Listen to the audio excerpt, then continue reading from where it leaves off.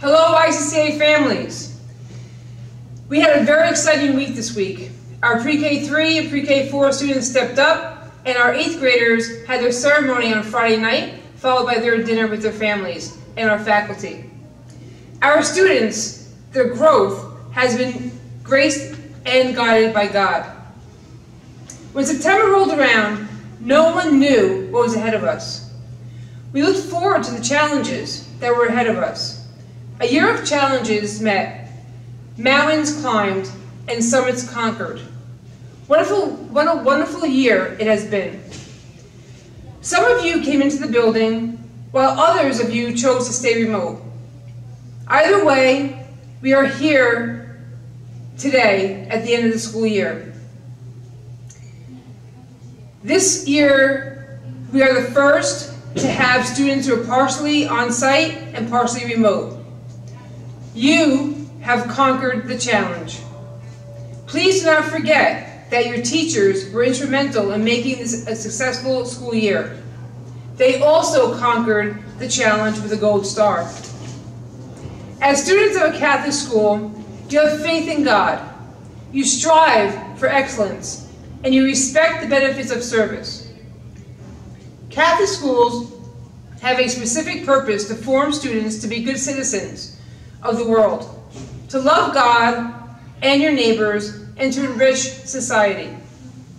As communities of faith, Catholic schools instill in students their destiny to become saints. Academic excellence is a hallmark of Catholic education, intentionally directed to the growth of the whole person, mind, body, and spirit.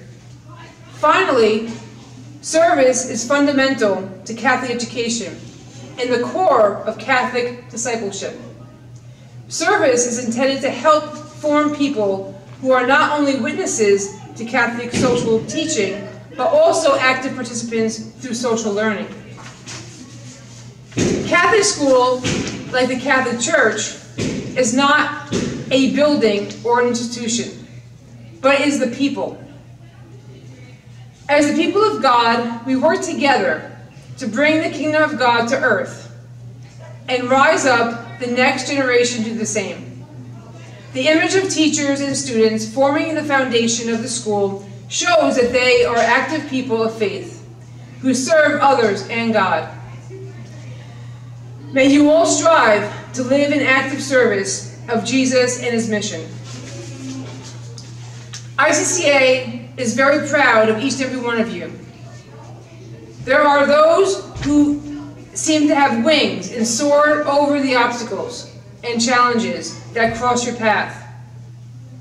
Not everyone has wings, but we all have feet. Feet that you use to climb, bit by bit, every day, one day at a time. In either case, you're all here today, ending our school year. Have a wonderful summer, and I'll talk to you next week.